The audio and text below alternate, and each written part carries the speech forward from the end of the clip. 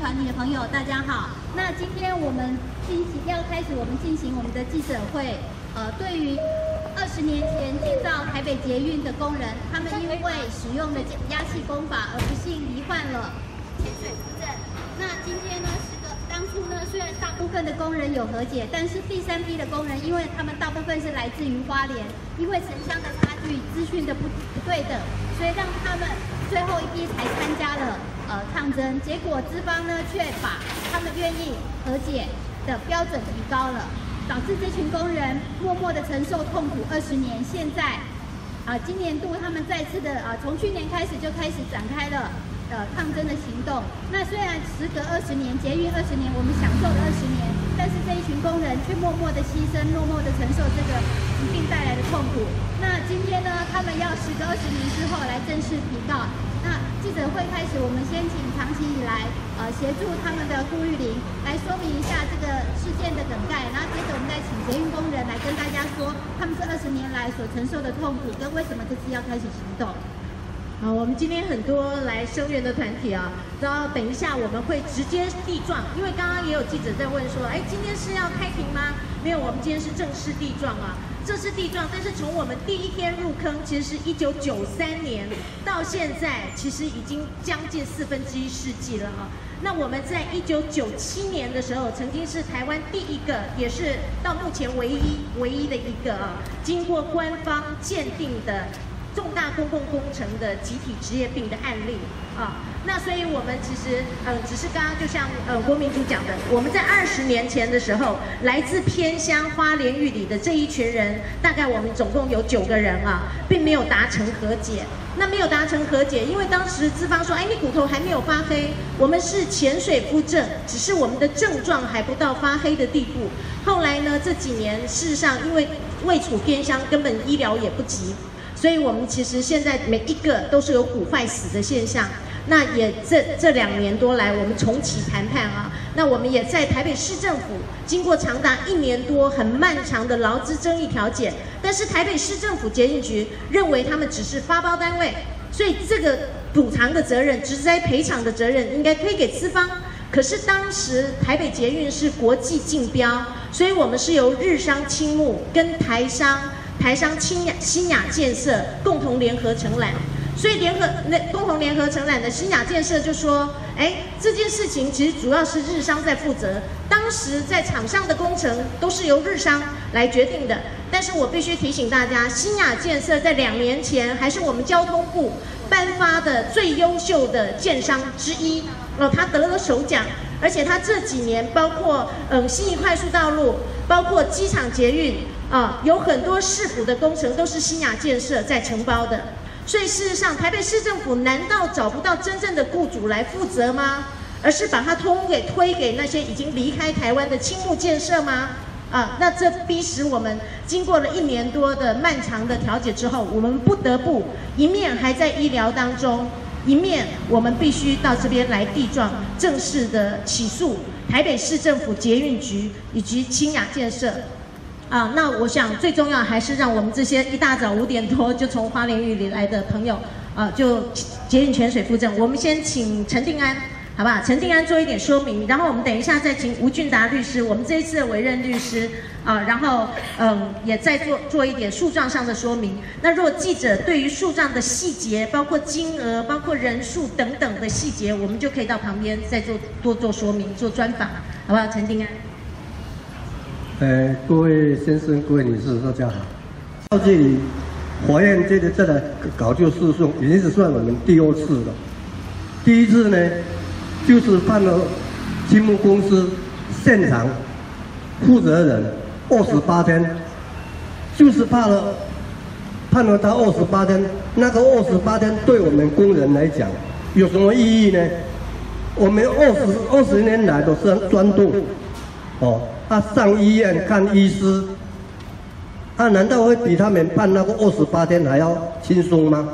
他我们今天是逼不得已，哦，算是第二次再走上这条路，哦，啊，我们没办法了。台北市政府呢，他说他是承包的给别人的，他也推走推给青木公司。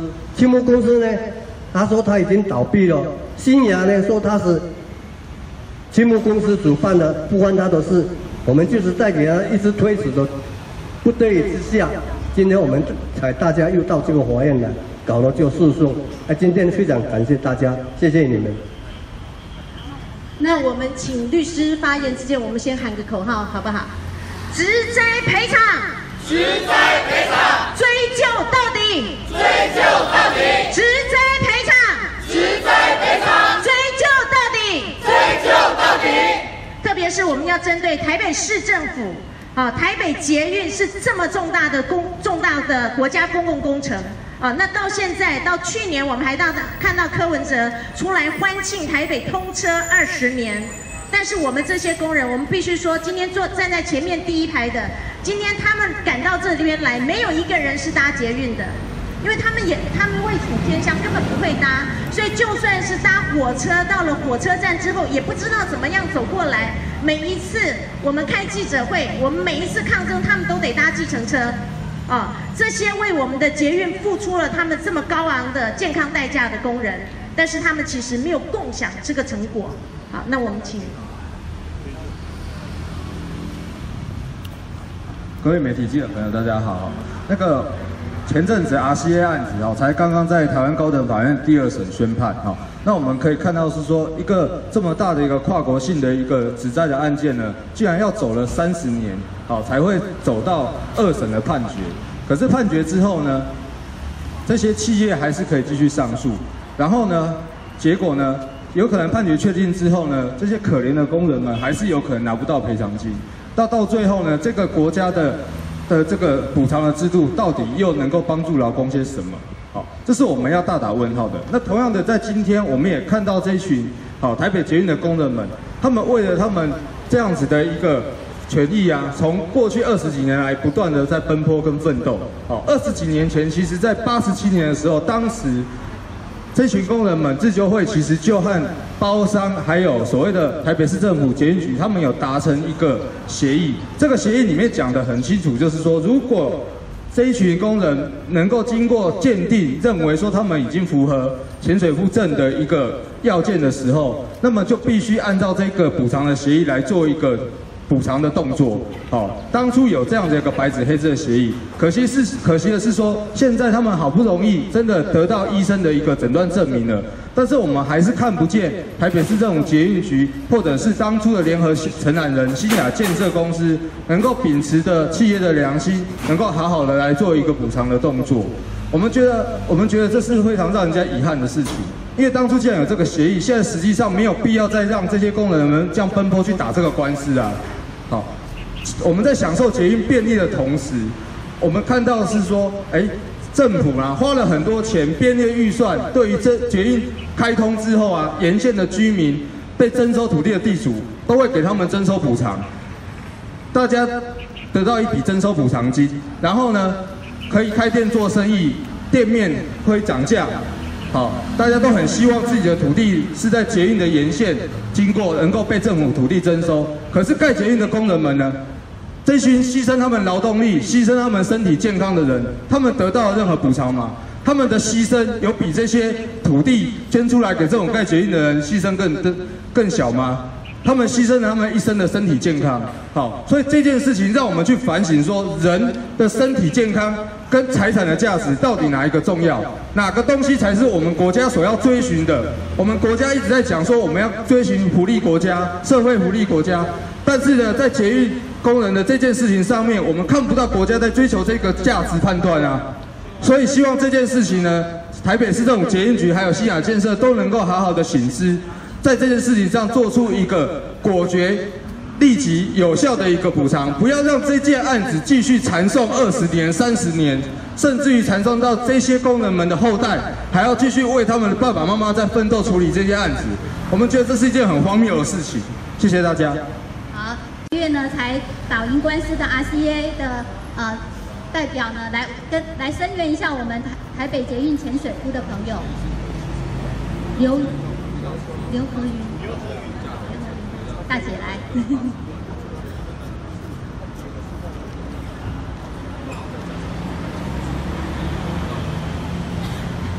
各位媒体，大家好。我是 RCA 员工关怀协会刘和云。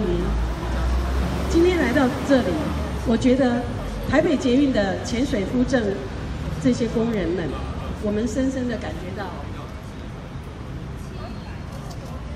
感同身受。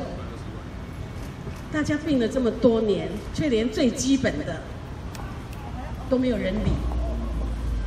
你们一定以为我们只是来讨债要钱的，其实不是。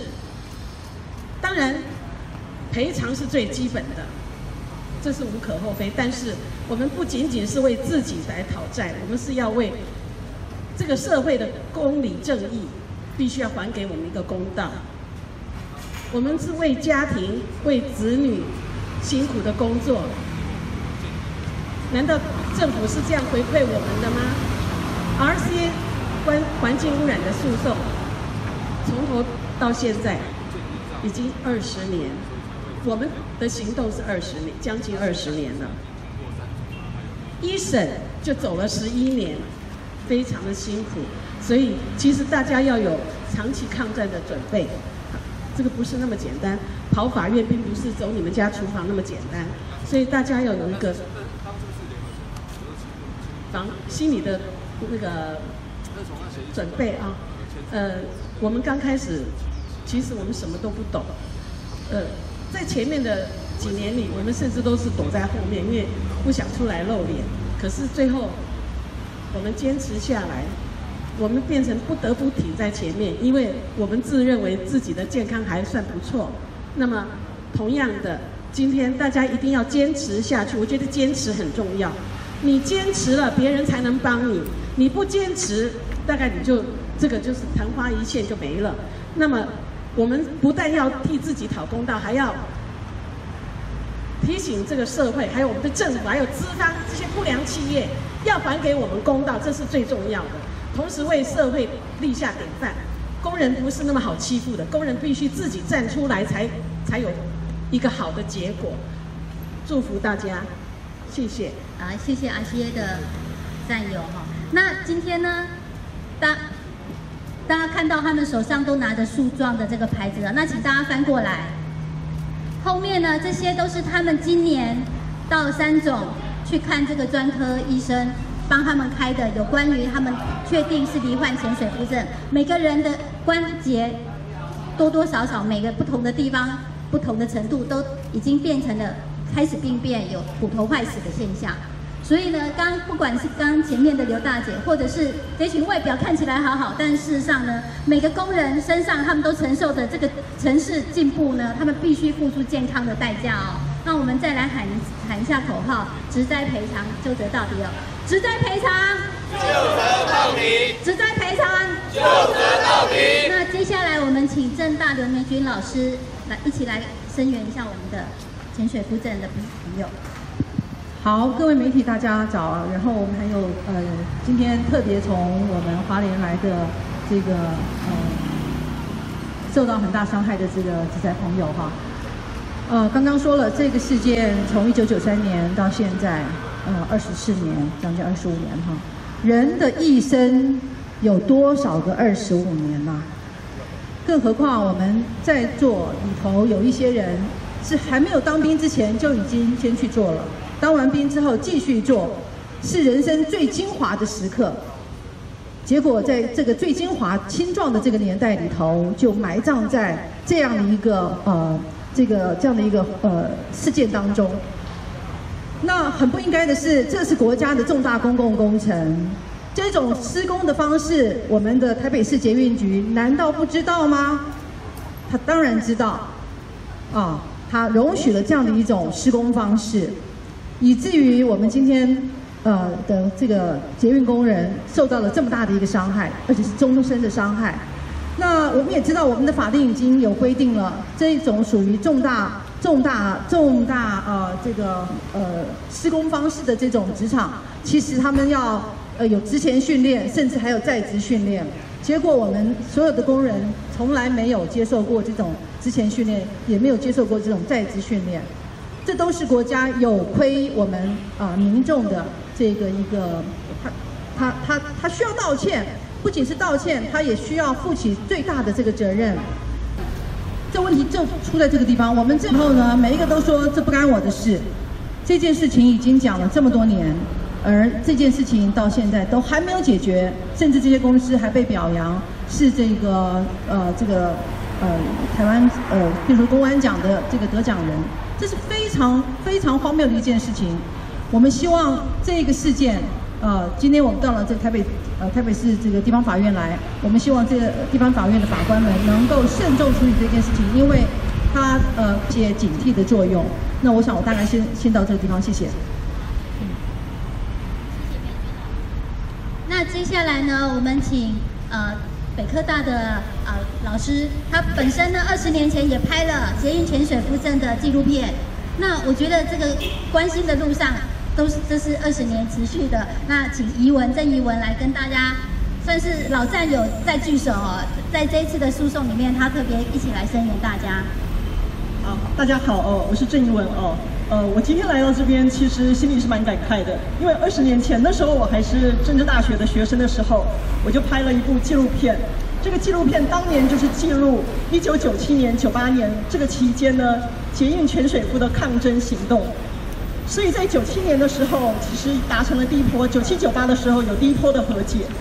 那我说到了二十年后呢的今天，我们还必须站在这边，我实心里实在觉得这事情实在太荒谬了。我的意思说，二十年耶，二十年到了现在，我们还必须站在这里谈这件事情。我今天来这里就觉得这件事一定要被受到重视、正视，必须还给他们一个公道，因为事实已经非常的清楚了。如果不是挖捷运，他们为什么会得潜水夫症？这里很清楚，我不潜水，我有潜水夫症。如果不是因为挖捷运，为什么会得潜水夫症？我说事实已经很明显了，这是第一点。第二个就说，如果不是因为潜水夫症，为什么他们骨头会发黑坏死？请大家再再想一想，事实是这么的清楚。而且，如果不是因为潜水夫症，为什么在捷运？台电大楼江子翠前面会有工商纪念碑，事实是这么的清楚。再说了，如果不是因为潜水夫证，为什么之前将近二十年前会有第一波的和解？事实都这么这么这么的清楚了，而我们季军今天还必须要站在这边，这不是一个很荒谬的情况吗？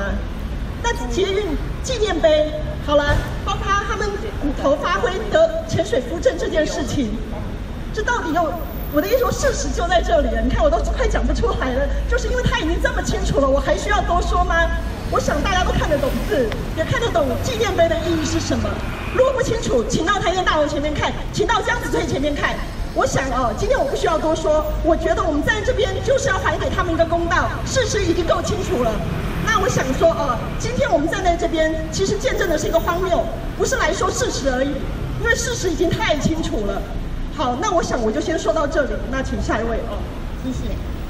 那呃，我们喊个口号，我不潜水哈，大家一起喊，我不潜水，我不潜水，我有潜水夫证，我有潜水夫证，我不潜水，我不潜水，我有潜水夫证，我有潜水夫证，职灾赔偿，直灾赔偿，就责到底，就责到底。叫邱宇凡。那其实刚刚前一位那个就是我们北科大的郑义武老郑义武老师说，他二十年前呢就开始声援这个案子。其实我自己十五年前还在台湾大学法律系念书的时候，我就声援了 RCA 案子。那我今天站在这边，我是感到非常的痛心。为什么经过这么多年，我们不断的需要站出来声援这些重大的职灾案件，我们的政府到底在做什么事情？让我们感到非常的一个质疑。那我们就跟大家讲说。提到说一再转包再转包，那不跟大家讲，其实在我们的劳动基准法里面第六十二条明确的规定，转包再转包之后，原事业主还是要负共同的连带责任，这不是一个可以推诿的一个理由。我们可以允许是营业工作的转包，但是工人的健康的责任是不能够转包的。所以我们现在郑重的呼吁说，如果今天连公部门都这样往事法律的话，我不晓得我们国家的政府，我们的法律还有哪些可以信任的？那最后我要讲说，我们国家真的非常的奇怪哈，如果有好的劳动法律，刚我讲到劳基法第六十二条，共负负负负那个连带责任部分，这样一个好的劳动法令不会被重视。但是坏的法令的部分的话，像变形工时、弹性工时、伤害劳工的工作条件的法令，一再的被拿出来，或者我们只要有好的劳动法令，一例一修就要把它修掉。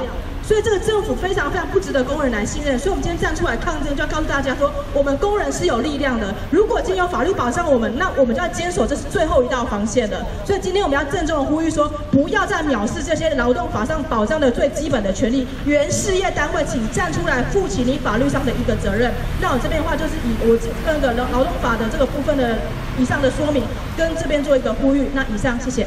谢谢啊！我们在这一次跟过去一整年啊，在跟台北市政府捷运局调解的时候，他每次都说啊，对啦，劳基法是有说有连带责任，那就到法院让他去判呐。当法院判说我要负多少连带责任的时候，我再来说。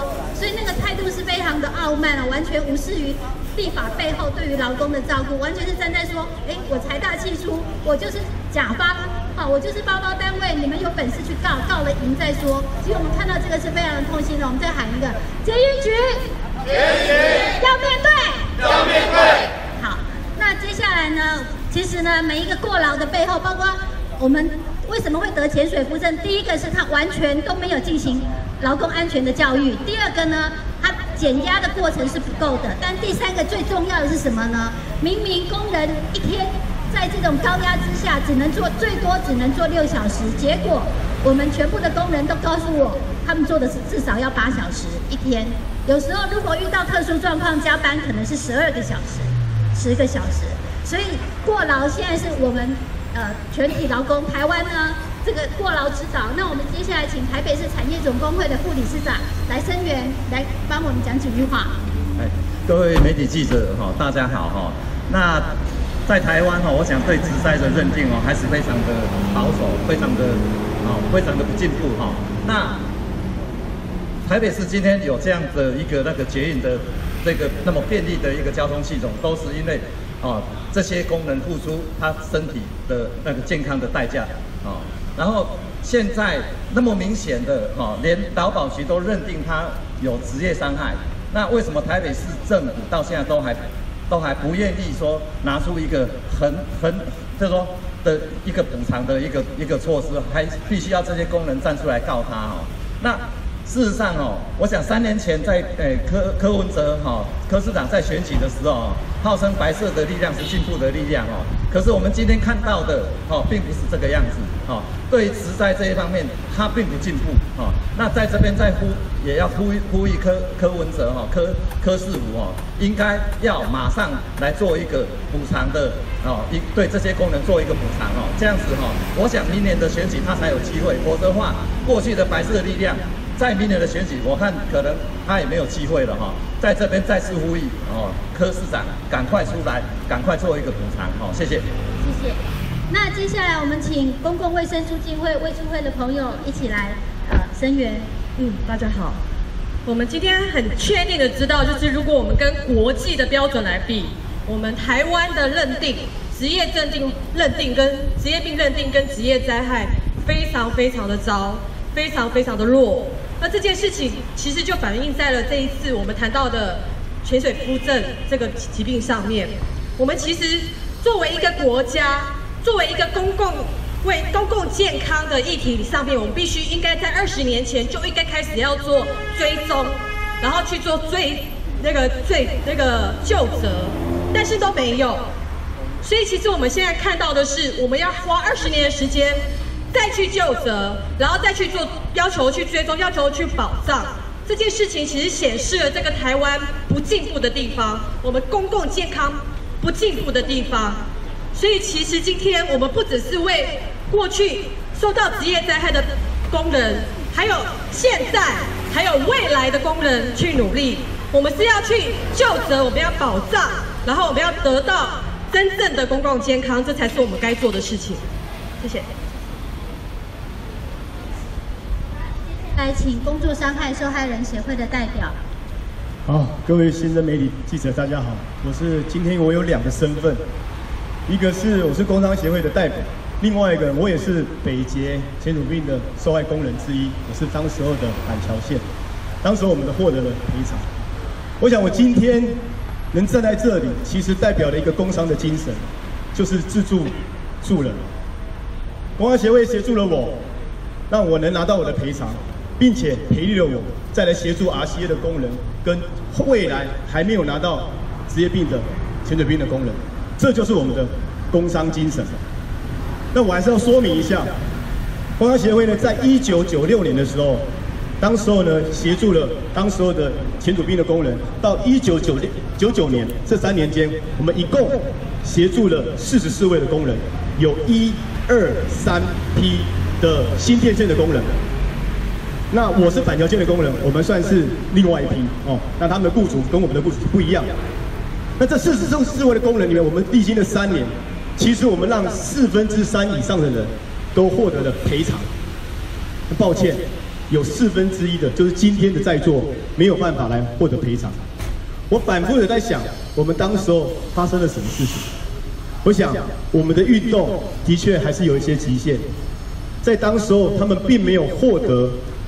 这个呃职业病的诊断书，让我们在那样的条件底下没有帮各位争取到职灾的补偿，那我们继续努力下去，带着这样子的想法，公安协会的我来协助了 RCA，一九九八年开始协助了 RCA，RCA 呢这个这场运动呢十九年，帮大家留下了一些运动上的改变，我希望可以用在这些我们曾经没有协助到，帮你们争取到。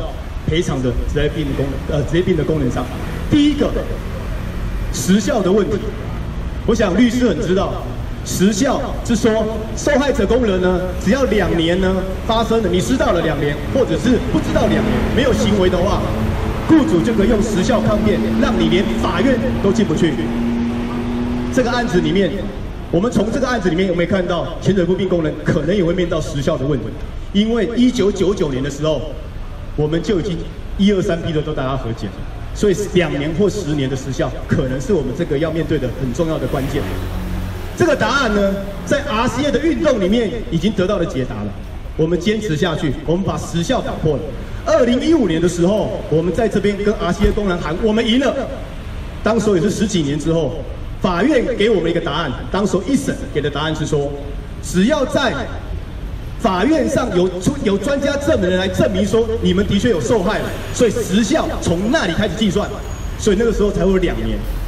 后来我们又新增了二军，又收了一千多个职职呃 RCA 的工人，这是我们第一个破时效的。要告诉你，所以一审的时候这边告诉我们，只要有专家证人来说你们的离病是现在才发生的话，那这个时效就没有问题。到了二审之后，时效更进一步的打破了，我们证明了一件事情。RCA 公司滥用时效，也就是说不能用时效抗辩来让我们没办法进去法院。于是呢，RCA 我们证明了一件事情：RCA 当时候把所有的资料隐匿，把钱绕跑，公司跑了。我们来说服法官说，雇主这样子滥用时效是不应该给他这个权利的。当时候法官相信我们，让时效滥用这件事情上适用在 RCA 案上。这个意思是什么？RCA 有八万的职灾劳工，其实呢都没有时效的问题。我们也知道，我们需要把这个遗产，这样子运动的进步呢，留给这样子的 RCA 的工呃潜水员的工人。这是第一个打破。第二个打破是有接触就有损害就要赔偿。当时我们 RCA 呢有一群人，有三四分之一以上的人，其实都没有拿到任何的诊断书或者是发病。当时候法官呢，在一审的时候告诉我们，只要你有接触到三氯乙烯、四氯乙烯这样子的有害化学物质呢，我们就要赔偿，我们精神上就要赔偿，至少可以赔三十万。但 R C 但潜水兵的工人已经告诉你，历经的这二十年来，他们的身体已经更深、更受害，所以呢，他们的损害其实已经在他们身上累积了。我相信我，你现在看我现在可能没有什么疾病，我相信我未来他们的现在就是未来的我。我也要帮争取他们的权益的时候，就是争取我的权益。我也要继续跟他们努力下去。第二个部分啊，我们打破的是有接触就对对不起。第二个是打破的是有接触就有损害。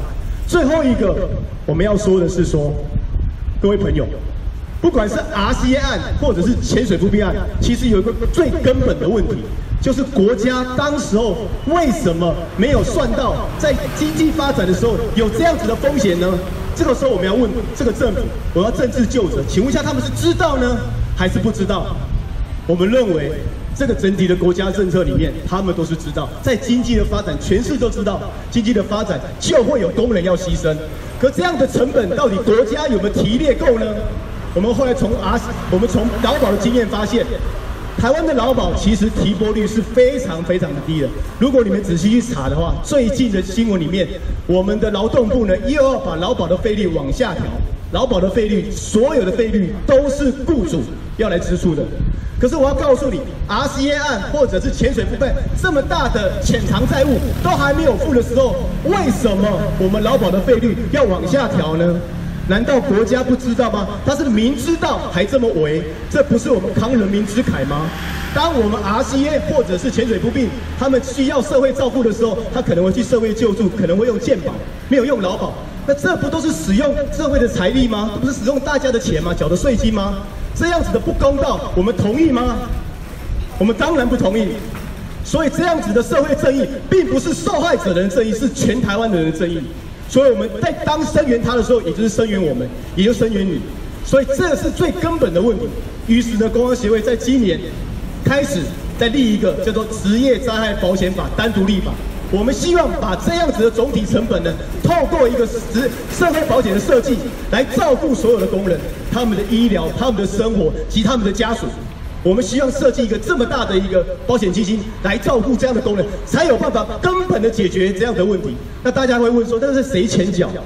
这个钱就是雇主要提炼他的成本来缴，来看面对我们经济所发展的这些伤害。那如果你问我的话，这个成本有多大的话，跟大家讲，台湾的所有薪资里面百分之五趴，我们认为才能把以前潜水不易的债务跟 RC 的债务先缴清，并且对未来的这些职灾劳工才有办法做出更根本的照顾。这是我们最后给大家有一个最后要共同努力的目标，就是职灾保险立专法。最后我喊一个口号。直臂工人，直臂工人，相挺到底，相挺到底，职业灾害立专法，职业灾害立专法，人才有保障，工人才有保障。好，谢谢。那谢谢工商协会。那接下来我们请医疗小组，就是医师劳动条件改善小组，来跟大家从医呃医师的角度来分享跟声援。大家好，我是医师劳动条件改革小组。我本身是一位内科医师，我曾经有照顾过罹患潜水夫病的病人，那同样是有骨坏死的问题。那这些病人告诉我说，他们的疼痛是用任何的止痛药都没有办法缓解，那是一个从骨头里面钻出来的痛，日日夜夜的痛。那看到这些病人，我能我能我所能做的，我我能帮助他们的，就只有治疗他们的病症，那缓解他们的痛。但是我要说，在预防医学里面，我们有三段五级的概念。既然当初这些工人罹患，因为一些捷运工人罹患潜水夫病，我们已经在预防的方面政府失职了。那是不是我们现在在最后的附件的部分，政府就要担起他的责任，让这些这些因为不当的劳动条件所进行的重大公共建设而健康受到损害的工人，能够得到他们应有的补偿？最后我想说的是，刚才有有些工人提到他们是可怜的工人。但我觉得他们是受人尊敬的工人。今天，过去我所照顾过的病人，也不断的告诉我说，他希望能够赶快治好他的疾病，他可以重回工作岗位，他要养家活口。我认为这就是一个工人，他拼命的想要发挥自己的劳动价值的一个展现。那在这边，我认为我们做的。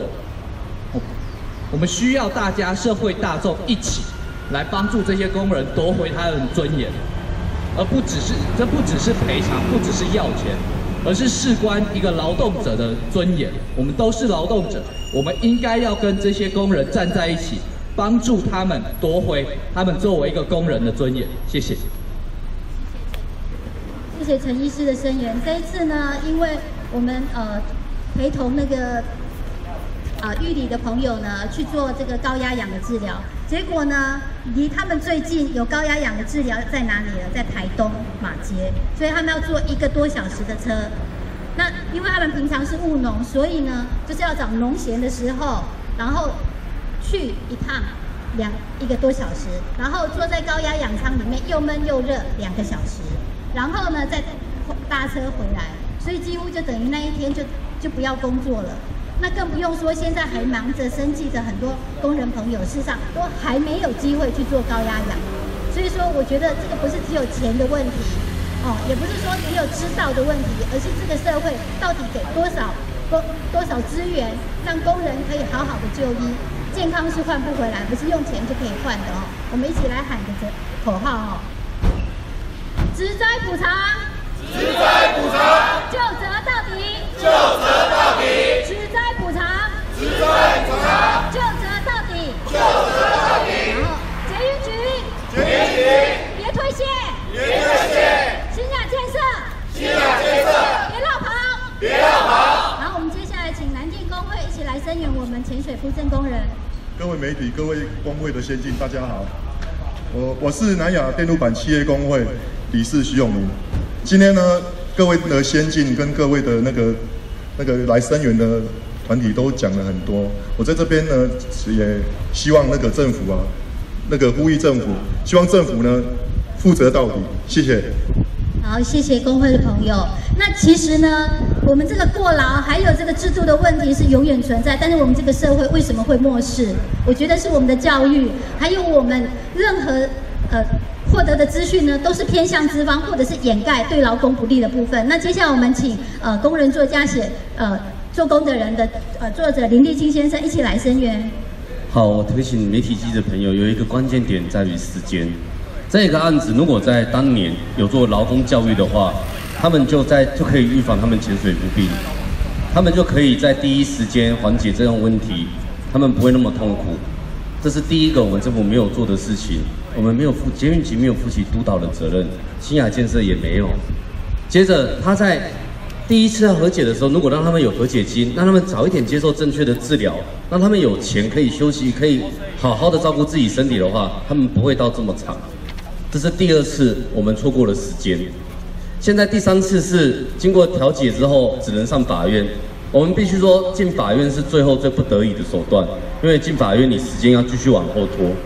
那我要在这边呼吁的是，我们知道他们现在已经花了这么长时间之后，身体还要继续忍受这样的痛苦，这一切都是一开始就可以也应该要先知道、先避免，不是没有补救的机会，是有的。不是没有预防的机会，是有的。但我们的政府、我们的捷运局，他们都做错了，他们没有督导，他们没有上进管理的责任，这些一次会一次一次的流失，结果是什么？是捷运现在继续在开，我们的政治人物说那很光荣、很便捷、很顺畅，但是所有的病痛成本转嫁在劳的人的身上，而且继续承担。我觉得时间不能再拖下去了，这不应该再继续拖下去。那今天在这边，我就要呼吁说，我们应该重视他们身上的问题。我们应该要，呃，我们的捷运局，我们的西海建设应该要公开出来面对。承担是一种勇气。如果你真的觉得台北捷运很光荣，那应该要有这样的承担。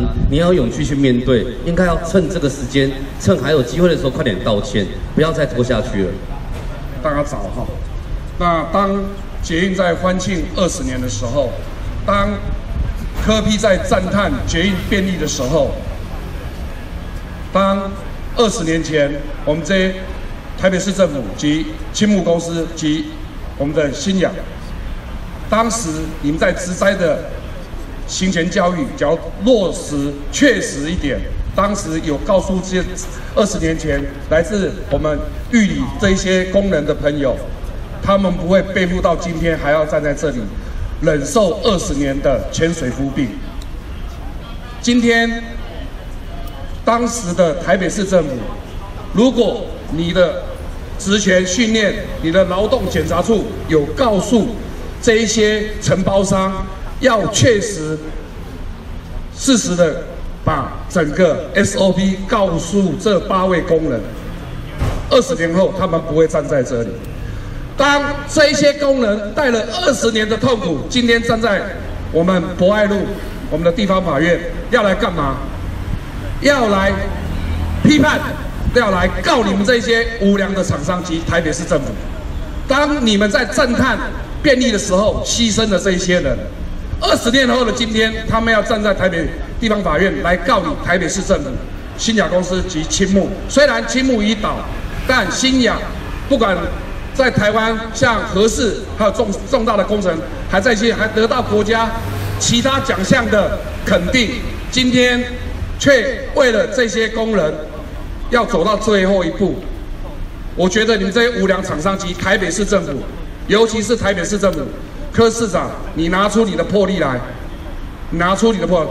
当时的二十年前，只要你要跟职灾劳工确确实时的做职前训练，今天他不会发生潜水夫病。所以，柯市长，今天我们声援团体已经站出来，我们非常重视这件事情。所以，我们今天。从今天以后，我们一定跟台北市政府、台北市捷运局及新雅公司奋战到底。大家说好不好？好。好，我们喊个口号：我不潜水，我不潜水，我有潜水物证，我有潜水物证。好，谢谢。那接下来我们请全教总啊来声援，帮我们说几句话。好，各位媒体，好，还有各位伙伴，大家好，早上大家好，我是全教总政策部副主任张文昌老师。好，那我今天在这边，我的说到的心情非常的复杂，好，非常感感受非常的深。好，第一个我的感受是很不舍，不很不舍，很难过。好，我看到这边的这些潜水不争的一个朋友受害者，这个直灾的受害者，他们等了二十年。我们的人生到底有几个二十年呢？到二十年，我们的公平，我们的正义，到现在都还没有，还没有来到。从三四十岁、四五十岁等到六七十岁，还要等多久呢？等到还要等多久呢？好，这是我第一个我感到很痛心的、很难过的。好，这是第一个部分。那第二个部分就是我感到非常的担忧。我本身是一个职业学校老师，我想到我的学生，我想到我的孩子，我想到我们的下一代，还有我们现在职场上我们很多的。的年轻人，他们现在都在职场上工作，这个是国家一个很标准的一个职灾，啊，一个重大的一个职灾。我们的国家没有能力去防止这样的一个一个职灾的这个问题，我们的劳动教育到目前也没有做好，我们中小学里面劳动教育有没有做好？好，很多人都还是教孩子说哦，以后去职场哦，我要听老板的话哦，就这样而已哦，就这样教而已。好，这是绝对不够的。我们要教孩子重视他自己应有的权益。好，这个都是我们现在都还有非常多的不足的地方。好，这就第二个，我很担心我们的下一代，他如果进入职场，他会不会一样遇到这样的一个灾害？好，那第三个来讲，我觉得我觉得非常的愤怒，就是我们的国家，我们的政府到底在哪里？为什么没有办法给我们这些人一些公道呢？为什么没有办法给这些人一些公道呢？我们台北市政府在哪里？台北市政府在哪里？台北市政府你要负起责任来，不能够再拖了，不能够再再再再推脱了，不能够再逃避了。我觉得我们政府根本就在摆烂。好，我觉得非常的生气，非常不能接受。好，那所以我们在边再次的呼吁大家一起来。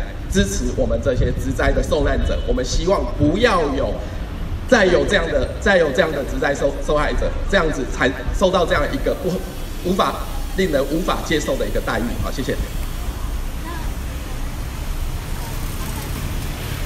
请那个潜水夫工人，我们把那个树桩那一面朝前面。好，那我们喊一个口号哈，植植灾赔偿就责到底哈。来，植灾赔偿，植灾赔偿，就责到底，就责到底。然后那个陈顺明阿北，如果脚有点酸，就稍微站旁边没关系，因为我看他脚一直发抖，因为他们从五点多就坐火车来台北啊。如果大大哥们如果有身体真的很不舒服，我们就稍微坐旁边坐着没关系。那接下来我们请全教产的理事长来为我们说几句话。好，各位媒体朋友，还有各位工会的伙伴，哎。大家好，我是全国教育产业总工会的理事长黄耀南。那今天呢，我们来声援，因为台北捷运施工的关系，得到全全水户镇的这些工人们。那为什么？因为很清楚的劳保局已经很清楚的规范这些伙伴哦有得到所谓的职灾给付，那也因为这样关系，其实他们本身就很清楚的被在法律上被认定啊，他们是因为这个施工的关系造成得到这个潜水扶正，这二十年来这样的辛苦，然后我记得半年前我们还到。劳动部的前面去抗争，希望劳动部能够秉持在担任工人的，哦，担任劳工的后盾底下来提供我们协助。但半年过去了，我们看不到这样的结果。再来就是以这些捷运工人他所需要的赔偿跟医药费，对于台北市政府捷运局。还有新雅建设公司来讲，都是九牛一毛。捷运的施工或是重大工程的施工，动辄几百亿、几千亿。但是，对于这些伙伴的医疗以及相关的赔偿，事实上真的就是九牛一毛。那为什么要让这些工人啊，要到法院来控告？那甚至还有可能因为这样。而延宕了很多年，所以我们在这边真的要再次呼吁台北市政府以及新雅建设公司要负起责任，而且尽速的做适当的赔偿补救，不要让这些工人啊在这个呃辛苦的然后继续承受这些痛苦啊。那跟我一起念喊一下哈，来，职灾补偿，职灾补偿，追究到底。追究到底，职灾补偿，职灾补偿，追究到底，追究到底。好，谢谢。那我们特别捷运局，我们再跟他喊个口号哈，捷运局，捷运局，别卸责，别卸责，捷运局，捷运局，别卸责，别卸责，新雅建设，新雅建设，别绕跑，别绕跑。好，那接下来我们请呃青年九五联盟哦，这次呢他们办呃来一起来声援，那他们这次办了那个呃劳工影展哦，然后呢也把我们这个潜水扶正的议题呢放映，然后受到各界的关注。那他们长期也是关心柜姐的一个职业健康的的部分，那你请他简单发个言，谢谢。好，大家好，那我是青年劳动九五联盟。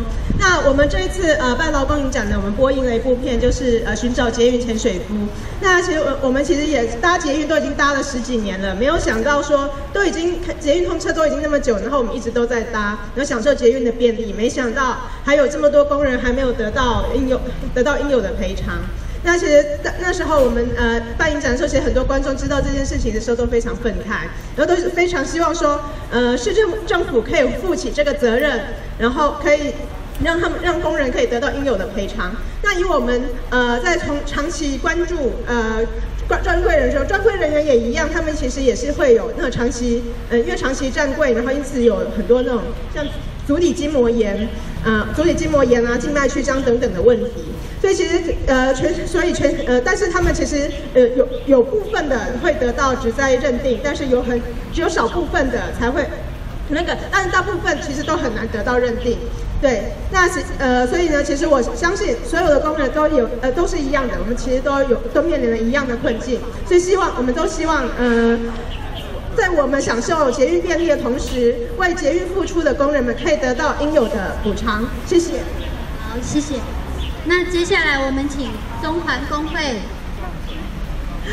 好，中环工会他们很客气啊，他们今天其实几乎整个全部的理事理事会都来了，而且是从我们两年多前开始抗争的时候，中环工会就第一波就出来协助我们，呃，一些志工学生帮忙采访哦，跟我们一路相挺到底。但是他们刚刚很客气说，已经这么久了，所以不说话。我们一起喊个口号好了，好好，嗯，职灾赔偿，职灾赔偿，追究到底。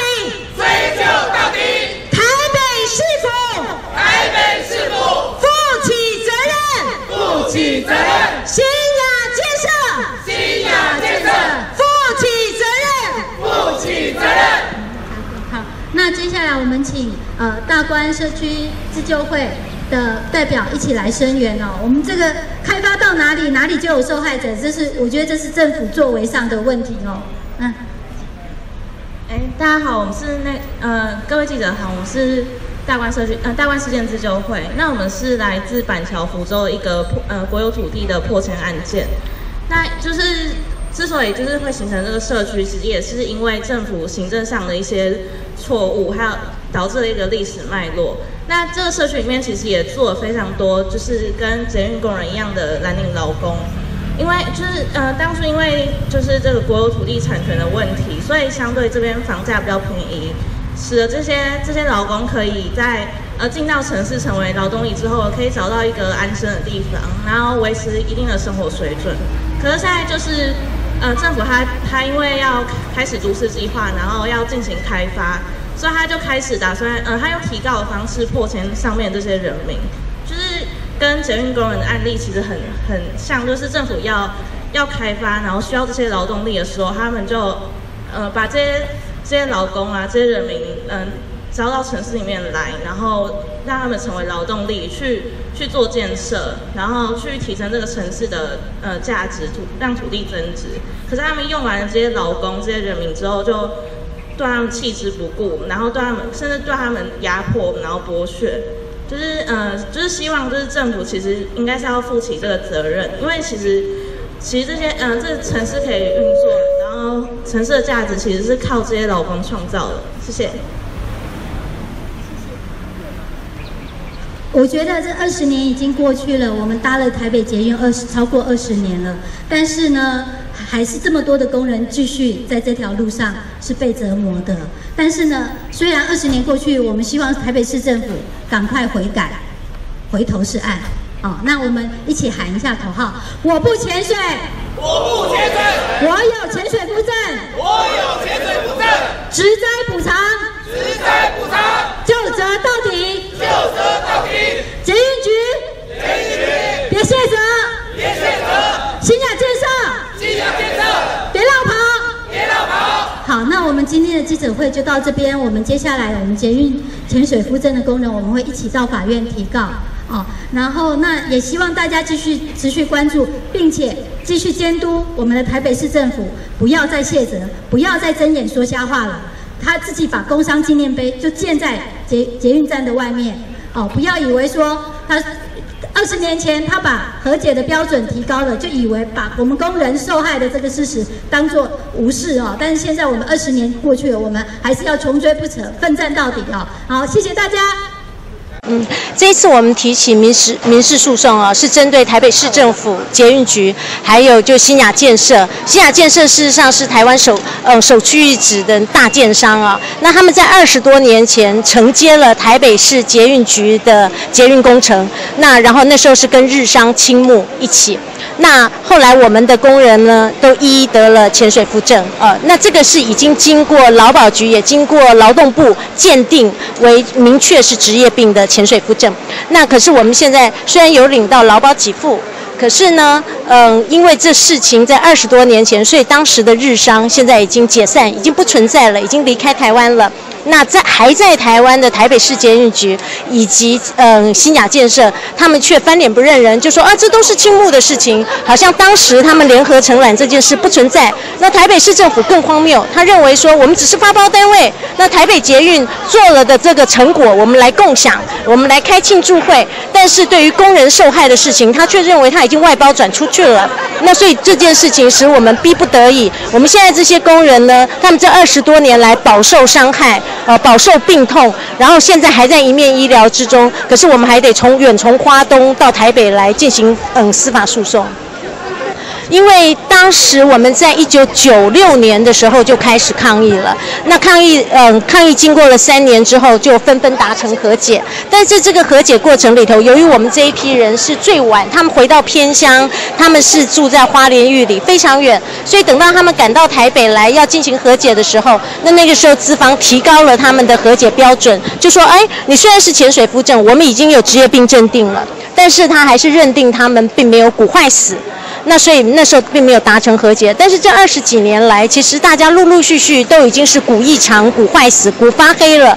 那所以我们这个时候重启谈判，可是问题是台北市政府却说，哎，资方已经跑掉了，所以已经不存在了。那所以现在我们要的就是职，我们被认定为职灾，但是没有雇主要负起职灾赔偿的责任。那我们现在就来向台湾的嗯法院来寻寻求一个司法正义。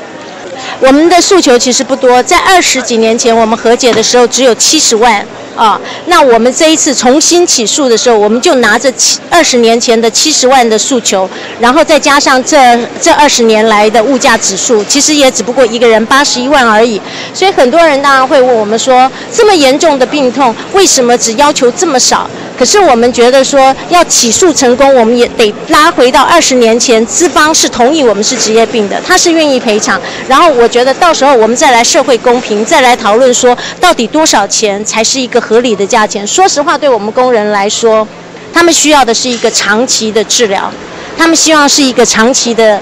健康追踪，他们就说我们我们希望的是我们的健保费，或者是我们每每一年两年有一个长期的健康追踪，才知道这个病到底它像个无底洞一样，不知道它最后会是什么样。他们也希望说留下他们的健康资料，留给台湾职业病鉴定一个完整的健康资料库。那我觉得这件事情恐怕也需要公部门一起来协助。